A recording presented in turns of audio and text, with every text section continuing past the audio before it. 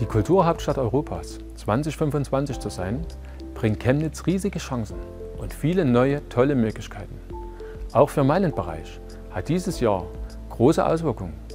Einige überaus positive spüren wir schon heute. Seit uns der Titel im Oktober 2020 zuerkannt wurde, erreichen uns viel mehr Anfragen für Veranstaltungen als sonst. Die Tendenz hier ist steigend. Chemnitz scheint tatsächlich, wie erhofft, auf der überregionalen und internationalen Landkarte anzukommen. Deshalb freue ich mich schon heute darauf, dass unsere Stadt internationale Gäste willkommen heißen und ihnen eine gute Gastgeberin sein wird. Und dass wir so ganz neues Flair mit neuen Begegnungen erleben.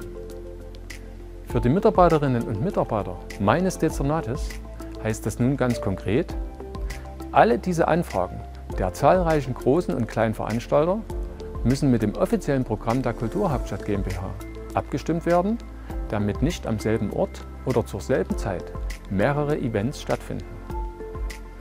Um die Vielzahl von Veranstaltungen zu ermöglichen, hat der Stadtrat vor kurzem beschlossen, dass es vor allem im Innenstadtbereich mehr Abendveranstaltungen unter freiem Himmel geben darf als bisher. Dies ist eine wichtige Voraussetzung für 2025. Gleichzeitig laufen in meinem Dezernat die Abstimmungen mit der Polizei zum Sicherheitskonzept, die für alle Veranstaltungen unerlässlich sind.